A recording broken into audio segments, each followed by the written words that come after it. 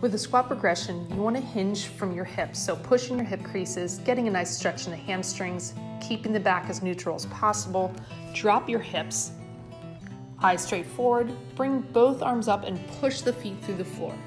If you can see from the front view, same thing.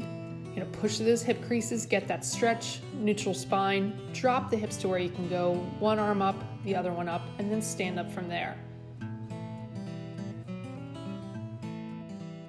You want to come about 45 degree angle from your head or midline and palms are facing away.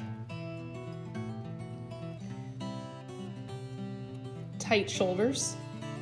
Make sure you don't get in the habit of bringing the arms up so the palms are facing each other and then you're scrunching your shoulders up towards your ears.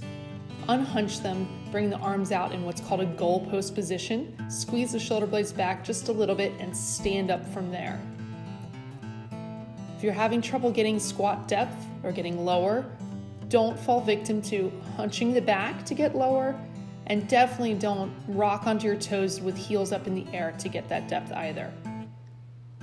Just do a nice, relaxed hinge. Go to where you can go. Bring the arms to what feels more comfortable, and then stand up.